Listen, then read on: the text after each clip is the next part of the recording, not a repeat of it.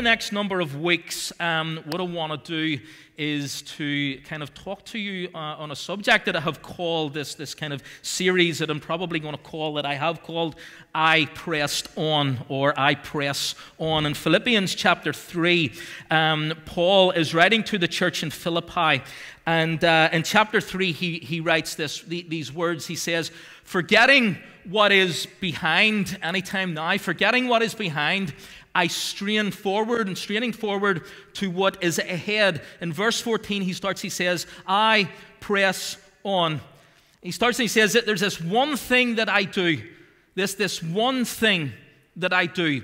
I'm going to forget what has happened in the past and I'm going to press on. I'm going to press on. I'm going to press on. Sometimes in, in, in life, you know, especially when, when it comes to Christianity, the people coming to church and that, there is that, is that very often people kind of struggle with Christianity. They, they struggle with being a Christian. Anybody can testify to that where you have struggled being a Christian, where you have maybe even struggled to come out to church on Sunday, maybe because it's either easier just to watch online or you're just going through stuff and it's easier not to come to church than what it is to come to church. It's easier to take a step back than what it is to take a step forward. Am I the only one that has been living that life? No, um, uh, can you? Yeah, you're with me. Five or six are. Five or six are being honest. The rest of you are just lying. Um, but but it's, it, it can be so, so difficult to be a Christian and to follow on and to follow through. And so many times we just want to give up. And sometimes people ask the question, okay, what, what am I going to do? And can you pray for me? And this, this, that, and the other. And we do all that there. We believe in prayer. But sometimes it just comes down to the fact of, I'm pressing on. That's it. I'm pressing on. I'm going to be here on Sunday regardless. I'm going to be here on Tuesday night praying regardless. I am pressing on. I'm pressing on in prayer. I'm pressing on in worship. I'm pressing on in my study of God's Word. I'm pressing on. Paul says there's one thing that I do. One thing. Forget what has happened and press on towards what is ahead. God has got a plan and a purpose. He's got a road marked out and mapped out for you. And the only way that you're going to reach that and achieve that is by pressing on. By pressing on. I think that, you know, one of the things that I, I kind of feel is, is a part of, of my calling um, that, that I do, probably whenever I preach more, more than anything, I preach on subjects of growing and developing and walking out your faith in Jesus Christ. Because for me, that's sometimes what I find. In fact, a lot of times, 99% of the time, if you want to know what your calling is, what your specific calling is, then that, that God has called you to, then look at what you've been through in life. And so, for me, a part of my testimony has been that as a teenager, struggling with identity and purpose and in growing in God. So for me, it's like it's seeing people develop in their walk with God. So a lot of times, whenever I preach, I preach on stuff that talks about growing and developing in Jesus Christ and in God, in maturing and growing in Him. That's a part of, of, our, uh, of our vision statement, of our mission statement, um, that all would be saved and come to full maturity of faith in Jesus Christ. This place would not be big enough we could knock down that wall behind us there, go into the sports hall that's behind there. This whole center would not be big enough to hold everybody who has made a commitment of faith to Jesus Christ in New Life City Church. If they were all still here, this place wouldn't be big enough to hold them. In Matthew chapter 13, Jesus tells a story, a parable of the sower of, of, a, of a farmer who was sowing seed, and he talks about how some seed fell on the path, some on the rocky road, some got uh, choked up by the thorns, and some grew to maturity. And sometimes what you have happen, unfortunately, in Christian life is that some people, whenever they become a Christian, they, they don't develop the, the roots that is required to grow, or they get choked up by the things of the world and it takes a hold of them. But not everybody comes to this point of full maturity of faith in Jesus Christ and grows in the way that that seed grew that Jesus talked about in that parable. And so, one of our desires is not just to see people get saved, but to see people become disciples and grow and mature in their faith in Jesus Christ. But how do we do that? Whenever we're faced with so many struggles. For a lot of people, it's just like one fight after another, one battle after another, and it's like you don't even get you don't even get time just to develop your faith to mature. It's just like you're just fighting constantly, battle after battle after battle after battle. What do you do when you don't know what to do? What do you do when you don't know what to do? Sometimes that's, that's what happens in life. It's like we're faced with something and, like, I don't know what to do. I don't know what to do. And Paul says, I press on. And I want to encourage you today to press on. Specifically today, I want to talk about trust, about pressing on in trust. Because what has to happen is we've got to trust God with everything that we're going through. You don't know what to do? Press on and trust. Take it to Him, take it to God. In Proverbs chapter 3, we read these words. It says, Trust in the Lord with all of your heart and don't lean on your own understanding, and in all of your ways acknowledge Him, and He will direct your paths. Trust in the Lord with all of your heart. Don't lean on your own understanding. In all of your ways acknowledge Him, and He will direct your paths. Trusting is probably like the most important lesson that we could ever learn in life certainly in Christian life. The most important le- lesson that you could learn, but I would say it's probably the most difficult lesson to learn. You ever find sometimes that life just looks blurry? You, ever remember like the old days whenever um, you used to have the cameras, Dave? You don't have your, your phone, you know, you didn't have phone back in the day. You know, it was a camera and you had the, um, the wee reel that was put into the camera. You closed the camera up, and then you took the photo, and you hadn't a clue what it was going to look like. You just, you just didn't know until all of the photos were done. You know, it's just like you were taking random photos of random things just to use up the whatever it was. Was it 36 exposures you got? Let's just take up the last few so we can take it down to Boots Chemist and get it all developed. And then you waited a couple of days and then you went and you picked up your photographs. Whereas nowadays, everything is on a phone.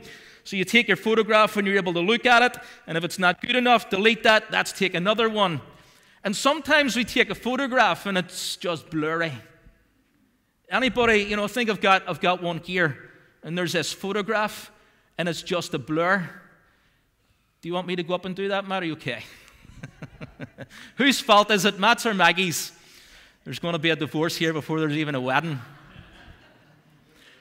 Sometimes life is like this where it's just blurry, where there's no clarity, where there's no definition, where you're in a place where I don't know what to do with this. I can't see clarity. I can't see any definition. I can't make out any longer the image of my life. Maybe at one point, life was going great. Everything was all in order, everything was all in place, everything was all conditioned. It had shape, it had form, it had definition, it had clarity, and life was good. And at some point in time, this is where it takes you to a place of, of blurriness where you can no longer make anything out, where what was clear is no longer clear. What do you do whenever you get to a stage like that? As a Christian, what do you do whenever you get to a stage like that? Because let's be honest, how many times do people become Christians where life was good before you became a Christian, but it's like ever since you became a Christian, it's like one thing after another? I talk to people like that, and it's like my life was actually better before I was a Christian. Whenever I say better, I mean more kind of organized. But it's like whenever you become a Christian, there's like more attacks. So it's like living a Christian life. Yes, it's a better life. But there seems to be a lot more blurriness now. So what do we do? Can I encourage you that if this is your life right now, number one, that you press on, number two, that you trust. I press on. And I press on with trust. Christianity is a faith we, we, we have this trust in Jesus Christ, this faith in Jesus Christ that He is the Son of God, that He is who He said He was, that He, he died on a cross, and that He rose again from the dead, that He ascended into heaven, and that one day He will return to this earth again for His bride, for His church. So, so there's an element of, of faith, an element of trust in who Jesus was and who he said he was and who he, he is in him being the Son of God. But what happens whenever this is, becomes our life? Do we still have the trust in that? In Jesus saying who he said he was? Do we still have the trust in him to bring us through this moment of blurriness? There's this moment where Jesus is with his disciples and Thomas isn't there. And his disciples, they, are talking, the ones that seen Jesus, they, they go to Thomas and they're Thomas, he's alive. I've seen him. And Thomas is struggling with this because the disciples struggled with the fact that Jesus was alive. They're questioning that he, he's alive. Why, why, is the tomb empty? And, and they've got all these questions, and Thomas doesn't see Jesus. All the disciples are saying to Thomas, No, we've seen him. And Thomas's response is, Well, unless I see him for myself and touch him, and I'm not going to believe. And then there's this moment where they're together again. Jesus appears in the room, walks up to Thomas. Thomas gets to touch him in the side, to touch him where the nails pierced him. And at that moment, Thomas believes. And Jesus says to him, You're blessed, Thomas, because you've seen and believed. But how much more will those be blessed who haven't seen and yet still believe. That's us. That we haven't seen, yet we believe. You are blessed here, Christian, because you haven't seen Jesus, yet you still believe. You carry that trust. But what do we do? Whenever we need a breakthrough, but it seems like a breakthrough isn't coming. What do we do whenever we need God to intervene, but it seems like He's distant? What do we do? When we need, we, we need God to, to hear us, but it seems like his ears are closed to us. What do we do whenever we need God to speak to us, but it seems like he is silent? What do we do whenever you want him to see you, to see the situation that you're going through, but it seems like his eyes are closed or like he's turning the other way and he can't see you or he refuses to see and refuses to speak? What do we do whenever we really want God to come so close, but it seems like he is so far away? What do we do? Do whenever we're going through moments like that because I know that a lot of you are going through that right now. That's where this sermon kind of comes from. Having spoke with many people that share their stories with me.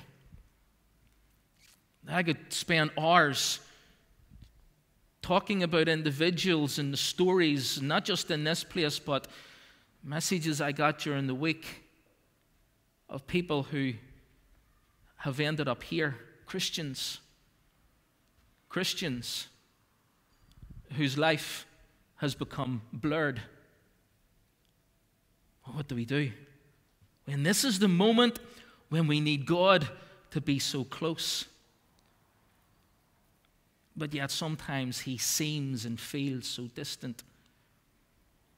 I want to encourage you today, church, press on and trust. Press on and trust. You see, trust requires that we give complete control over to someone else. You ever had someone say to you, Trust me? Trust me? How many people regretted that? Yeah. trust me.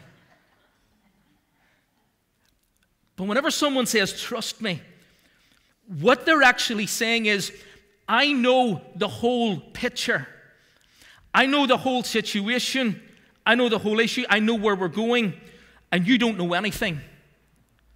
So they're saying to you, Trust me. You don't know what's going to happen. You don't know what's going to take place. You don't know where you're going. You don't know the situation. They know it all. So it's easy for them to say, Trust me. And you know nothing. So you're giving the whole situation over to this other person so that you have got absolutely no control whatsoever. You ever see people do the trust falls? I don't know if maybe you've had to do it in work or something like that there, or, you know, as a youth pastor, whenever I was youth, pa- youth pastor in this church, every youth pastor has probably done a trust fall with their kids. If you haven't done a trust fall with your kids as a youth pastor, then you're not a proper youth pastor.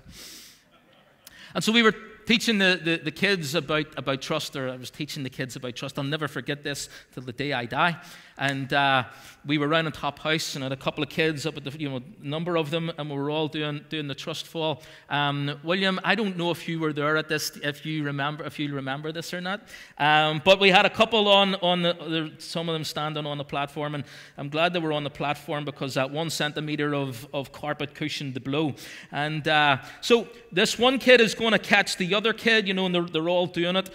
But for some reason, this was not intentional in any way, shape, or form. It's one of those things where timing is just perfect because the kid that was going to catch this other kid, I came in through the door and I called him to get his attention. I didn't know, I didn't. I'm just like, I called him and he turned to, at this. At that moment, the kid in the front, eyes closed, falling back, hits the floor. And it wasn't the Holy Spirit. And then you see these other people, and it's like, you know, in, in, work or whatever, they're with their friends and they're going to do a trust fall. In a trust fall, you c- cross over your arms, you close your eyes, and you fall backwards. That's the rule, you fall backwards. And I've seen these people, and they're there, and they're ready to fall, and their friend, they've got their eyes closed, their friends gather around to catch them, and they fall forwards, flat on their face. They deserve a broken nose for being so stupid. But in that trust fall, you have got no control of the situation. You're giving all of the control over to the people that are there to catch you. They have got the control of everything. They decide and they choose whether to catch you or not. That's the purpose of the trust fall. Do you trust them enough to catch you? Do you trust them enough to hold on to you? Do do you trust them enough not to let you fall, not to let you come to harm? Do you trust God enough to catch you? Do you trust God enough to hold you? Do you trust God enough to take control of the situation of whatever it is you're going through? Do you trust Him enough with the process? Do you trust him? Proverbs chapter 3 says, Trust in him with all of your heart. So that means giving all of the control over to God, giving everything over to him. We have this tendency to take a little bit of control. We, we have this tendency in a trust fall to look back. And that glance is enough to say, I don't trust you. Peter is out with some of the disciples. They're on the boat, and storm comes. Jesus walks on water towards them in the Sea of Galilee. They think it's a ghost, and they discover that it's Jesus. And Peter says, If it is you, Lord, then call me out onto the water. And Jesus says, He invites him out to walk on water, to walk on the Sea of Galilee with him. And Peter steps out of the boat and walks on water towards Jesus. What a miracle! What a thing to happen to you. We know the story of how that as he's walking on water, Peter trusts Jesus with the situation. He's giving control over to Jesus. But then waves start to come up and wind starts to swell up. Peter takes his eyes off Jesus and begins to focus on the waves. Having walked on water, he is distracted by something that makes things blurry. And he begins to sink in the water. And there are people who, you know, because we talk about, but you've got to get out of the boat. And a lot of people have gotten out of the boat. A lot of people in this place, you have gotten out of the boat. You have been, spiritually speaking, walking on water. You've been walking with Jesus. But for whatever reason, you've been distracted. Waves have come up. Things in life have happened that have caused you to be distracted, to lose focus. And I want to tell you today let's get our focus back on Jesus, the author and the finisher of our faith. Let's get our eyes focused back on Him. And let's start to rise up again, to begin to walk on water again. to begin to walk hand in hand with Jesus again, to get that trust back again. Hebrews chapter 11 talks about faith. Because faith and hope and trust, I think, all kind of go hand in hand. And, and the, thing about trust is you're trusting in something that you can't see. The trust fall, you can't, you've got your eyes closed, and all you have to do is fall back. Seems so easy to do, yet so difficult. I feel like trying it with one or two people, but it's only the people that I would drop.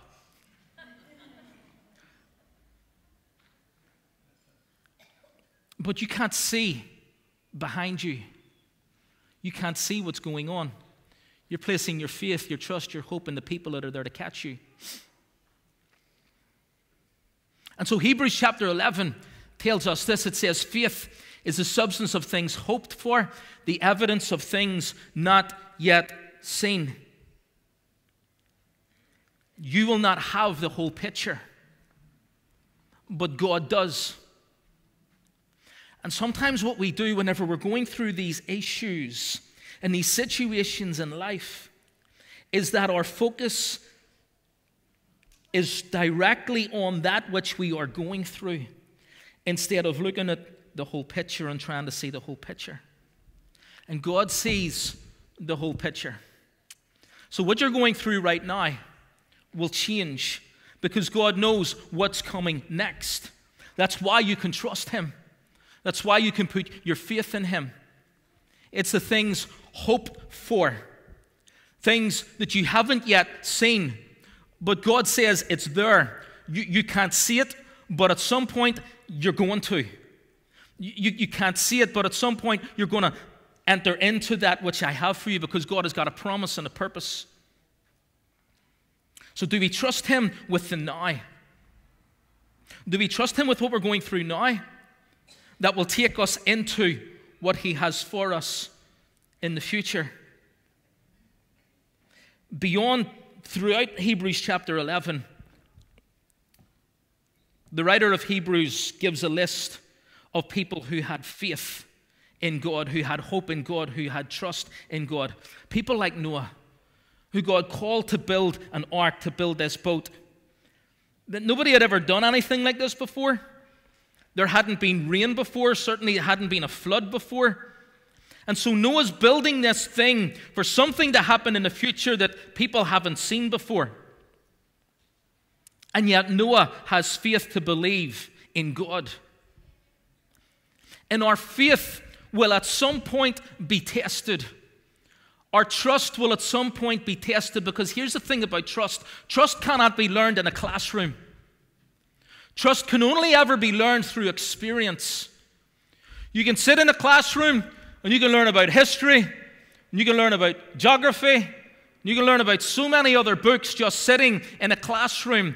But trust can only be gained through experience. There's a story, I think I've shared this before. I think I've shared this a number of times before. I think his name is Blundell. It seems like I shared this just last week, but maybe I need to share it again. Of, of a guy who set up this rope at the Niagara Falls. And he, he walks across the tightrope across the Niagara Falls. One slip, and the man's dead. And everybody, all the crowds are gathered, and they're all cheering him on. This is amazing. Look at what this guy's doing. He's walking across a tightrope across the Niagara Falls. And then he gets a wheelbarrow and he walks a wheelbarrow across the tightrope, and everybody's cheering. He's even doing it with a wheelbarrow. And then he gets a big sack of potatoes or something like that there, puts it in the wheelbarrow, and wheels the wheelbarrow across again the tightrope, and everybody's cheering. Wow, look at what he's doing. And then he asks a question Do you think I could put a man in this wheelbarrow and push him across this tightrope and back again? Everybody's, Yeah, you can do it, you can do it. Okay, somebody get in the wheelbarrow. Whoa. You go, you go, you. Cheered the loudest, you go. And it's one thing to say, I trust. I trust in you. I build my life on you.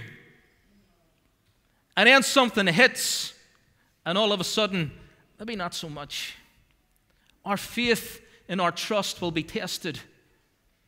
Abraham was given a promise by God you're going to be the father of, of multitudes, of many. There's a nation inside you, Abraham. And then at some point, you know, it takes so long. Abraham thinks, There's a fly up here, demon fly, out in Jesus' name.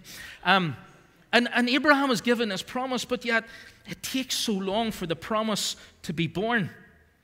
And Abraham takes things into his own hands. We'll not go into that story today. But eventually, the son of promise is born. He's called Isaac. And then uh, his faith is tested because God calls Abraham. He says, Abraham, take your son, your only son Isaac, take him up because you're going to sacrifice him to me. And what does Abraham do? He goes. He lays out an altar with Isaac on the altar. He's going to sacrifice his son to God. His faith is tested. And in that last moment, a voice calls out from heaven It's okay, don't touch the boy. His faith was tested. Your faith will be tested. But everything, as I, as I come to a close, everything that God brings us through, I think God's ultimate objective for every single one of us is that we come closer to Him. God's only objective for your life, God's only overall mission and objective for your life is that you walk in deep personal relationship with Him. Nothing else. Deep, loving, close, personal relationship with Him. That's He wants you. He wants you. He wants you to know Him. He wants to know you. He wants you to know Him.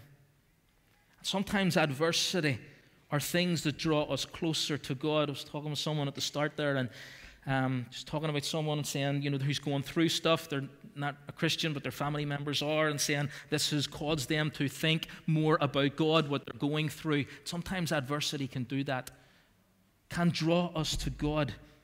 And as Christians, allow the adversity that we go through to draw us closer to God because that's God's ultimate objective. It's just to be in relationship with you. God is so devoted to you. God is sold out on you, loves you so much, loves you more than you could ever know, is devoted to you more than you could ever know. And that was always his objective from the Garden of Eden to be in relationship with us. And I pray that our response to the things that we're going through will be I'm pressing on. I, I don't understand it. I, do, I don't understand why, but I'm pressing on. I don't understand why, but I'm trusting.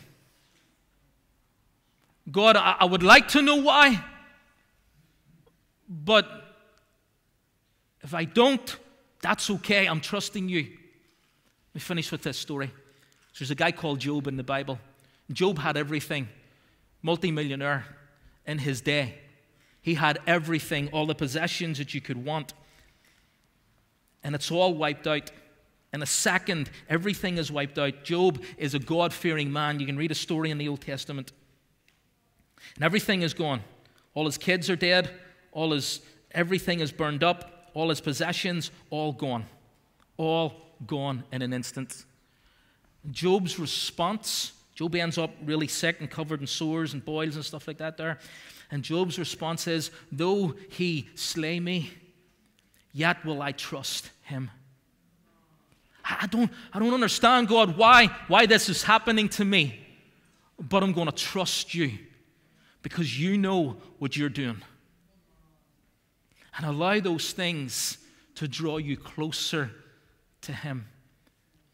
It hurts, it's painful, it's hell at times. But what God brings out of that, what God brings you through, will take you into deeper places that you never dreamed possible. You can't learn about it in a church service on a Sunday afternoon or a Sunday morning. You can't learn about it in a classroom. You've got to walk through it.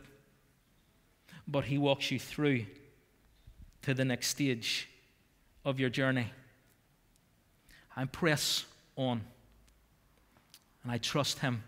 I don't understand it, so I'm not going to lean on my own, my own understanding, but I'm going to trust Him.